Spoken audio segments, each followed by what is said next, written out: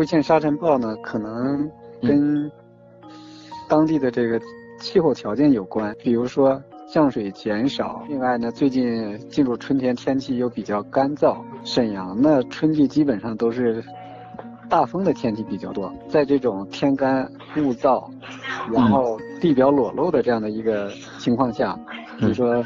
风一多，可能沙尘暴就极易出现。首先从自身安全角度，避免这个可吸物、颗粒物，就要戴口罩，然后避免这个沙尘侵害眼睛、呼吸道。机动车、非动机动机动车就是要减速慢行，注意交通安全。窗啊，嗯，不行密封啊，什么这样的一些处理。